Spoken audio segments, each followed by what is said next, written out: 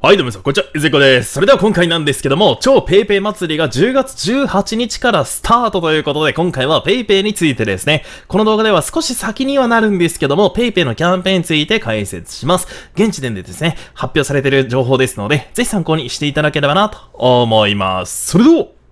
行ってみましょう。まあ、ちょっとね、本題に入る前に本日からこちらが始まっております。街の PayPay 祭り最大20%戻ってくるキャンペーンということで、まあ、付与上限が1000円相当なんで、5000円分使ったら上限に到達します。で、新規で登録される方、もしくは半年間利用がない方はですね、最大40%還元がされるので、2500円分ね、使えば上限の1000円に到達するっていう感じなんで、まだ利用されてない方はぜひトライしていただければと思います。で、このキャンペーンはですね、対象の店舗で QR コードを読み取って、PayPay 残高で支払うと、この20%という条件となってますんで、あくまでもこの方法での支払いとなりますんで気をつけてください。公式ページで対象のお店とかの探し方出てますんで、ぜひそちらをチェックしていただければと思います。では気を取り直してこちらが本日の本題でございます。毎日が超お得超 PayPay 祭りということで、まあなんかもう聞いたことあるような名前にはなってきてるとは思うんですけども、確か今年の3月か4月かな、まあ一回これがあったんですけども、それのね、10月バージョンということで本日発表がされました。で、このキャンペーン大きく5つに分けてですね、サクサクっと一つ一つ見ていきたいと思います。ではですね、まず1つ目はこちら PayPay クーポンということで、まあそれについての詳しいところを見ていきましょう。こちらね、本日 Twitter でもつぶやいたページではあるんですけども、これですね、超 PayPay 祭り PayPay クーポン詳細ということで、一応キャンペーンページはね、クリックしたら PayPay クーポンのキャンペーンページは出てくるっちゃ出てくるんですけども、今回の情報はまだ出てはいないんですよね。まあおそらくこの情報だと思うんですけども、一応キャンペーン内容はいつものクーポンの内容と同じですね。で、気になるどんなクーポンが出てくるのかっていうところなんですけども、まあパッと見た感じは、だいたい5%から10%分の PayPay クーポンが出るような感じではありますね。例えば、かっぱ寿司で5%オフのクーポン。これが10月18から28日まで。11月28なので結構長いですね。で、あとガストの5%であったりとか、まあ個人的にいいなと思ったのはこれですね。スターバックスコーヒーの10%ですね。これも10月18から11月7日と。なので、スタバ利用される方は100%このクーポン使った方がお得だと思います。あとは東急ハンズ10%もお得だと思いますし、あとこちらもありますね。松屋でも10%オフのクーポンが出るみたいですね。あと一番下にちらっと出てるんですけども、ローソンで5 5%分のね、クーポンも出てますね。で、冬上限についたら、クーポンの内容について変動しますということですので、まあ、これはね、とりあえずキャンペーンが始まる前ぐらいでわかるのかなと思います。あと気になるのは使える回数とか、まあ、毎回毎回このキャンペーン期間中はずっと使えるのかとか、まあ、ちょっと気になるとこではあるので、これはね、ちょっと発表まで待ちたいところではありますよね。まあ、全体的に還元率はめちゃくちゃ高いっていうわけではないんですけども、まあ、使えないよりかは使った方がいいかなっていう感じですね。ちなみにクーポンのお得な使い方は以前ね、動画で紹介をしてますので、そちらをね、見ていただければと思います。続きまして二つ目はこちら、オンラインショップということで、こちらはですね、今からお伝える3番4番に関連してくるんですけども、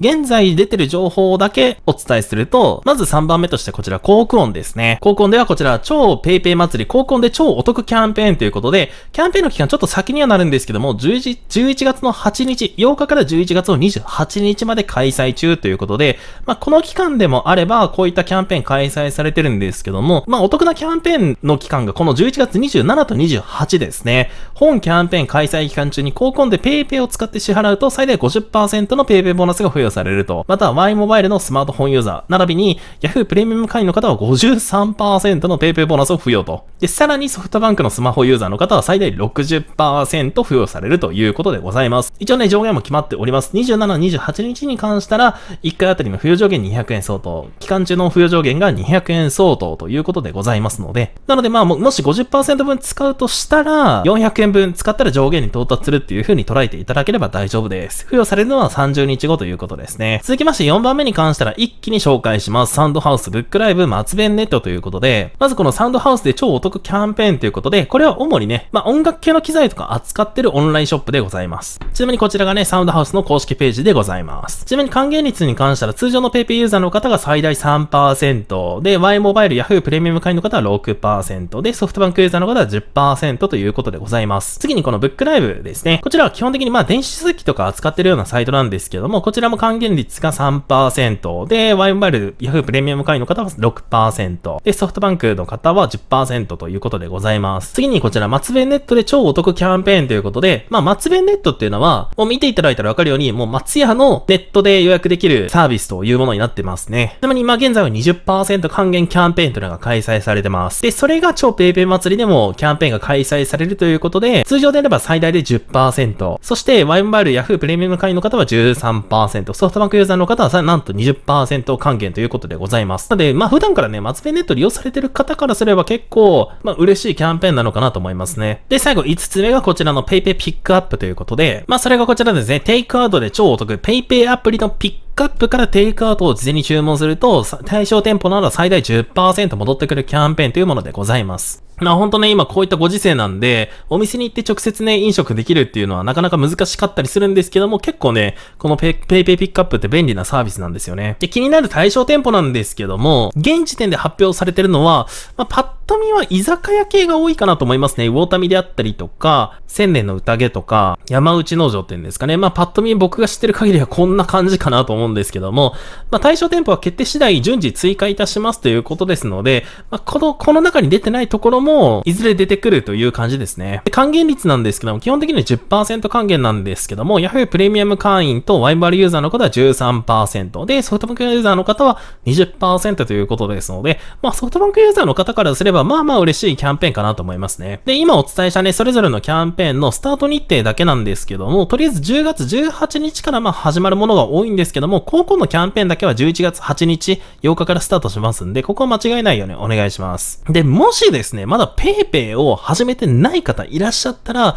今現在こちらのキャンペーンが開催されておりまして、友達紹介キャンペーンというのが開催されております。まあ、簡単に言うと僕のこちらの紹介コードを使って PayPay に登録されたら、最大で500円相当がもらえるということでございますので、ぜひ使っていただくとめちゃくちゃテンションが上がります。そんなこんなで今回は10月から始まる超 PayPay 祭りについて簡単ではありましたけども、お伝えさせていただきました。今回のこの超 PayPay 祭りに関したら、まあ先ほどもお伝えしたように全体的に還元率は低いものの、まあなんちゃかんちゃローソンとかのクーポンも含めて日常でサクッと使えるようなクーポンが出てくるっていうのは結構嬉しいのかなというふうに思っております。まあもちろんね、こういったキャンペーンにはいろんな意見は絶対飛び交うところではあるんですけども、まあ開催されないよりかは開催してもらった方が個人的にはちょっと嬉しかったりもします。もちろんね、無理に使う必要はないので、まあキャンペーンが始まる前ぐらいにご自身でどこで使おうかなっていう風に目処をつけておくのもいいのかなというふうに思っております。今回お伝えさせていただいたキャンペーンの公式リンク、そして先ほどお伝えした紹介コードについても概要欄に貼っておきますんで、またね、詳細気になる方いらっしゃればチェックしていただければなと思います。ということで、本日の動画は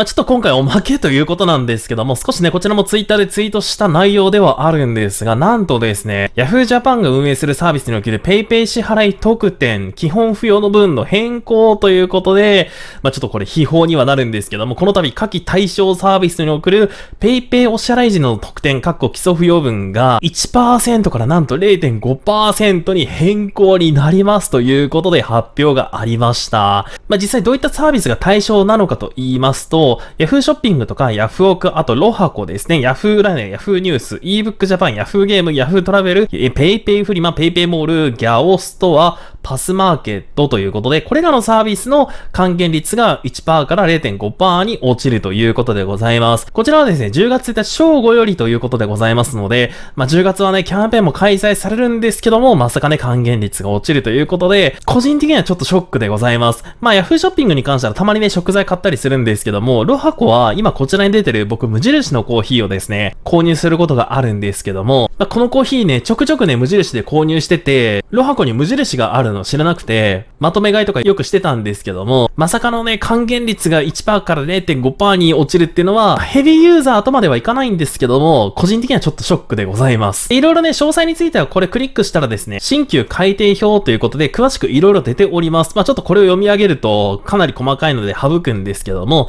もしね、F ショッピング利用されてる方はですね、見ていただければと思います。ですけども、今回ですね、これ10月1日から還元率が下がるということではあるんですけども、一つ匂ってくることがあるんですよね。まあ、それが何なのかと言いますと、こちらですね、PayPay カードということで、そうなんですよね。この PayPay カードは、まあ、以前からね、お伝えしてたように、2021年の10月1日からですね、スタートするということでございます。まあ、この記事には、YJ カード、Yahoo Japan カードが PayPay カードに社名変更されるという内容ではあるんですけども、まあ、本格的には10月1日からから始まるということで、まあ、かなりね、10月はキャンペーンもそうなんですけども、大きく動いてくるようなすごいタイミングなのかなというふうに思います。なので、先ほどの Yahoo ショッピングでは還元率は落ちるけども、まあ、この PayPay カードが何か起こしてくれると僕は勝手に信じてます。ちなみにですね、このページには、YJ カード、YJ カードの社名変更や、本店の所在地の変更とか、あとはサイトの URL も変わると、YJ カードから PayPay カードと、あとメールの差出人表記についても記載がされております。ちなみにですね、よくある質問で、まあいろいろ書かれてはいるんですけども、もちろんね、手元にあるカードについては、10月1日以降も Yahoo Japan カードは使うことができますと。そして、口座振替に関しては PayPay カードと記載がされるみたいですね。まあ、新しいカードが出てくるということで、まあ、ちょっと前の時の動画とかで、僕、今持ってる Yahoo Japan カードを解約するかどうかみたいな話をしてたことがあったんですけども、結局僕は解約せず、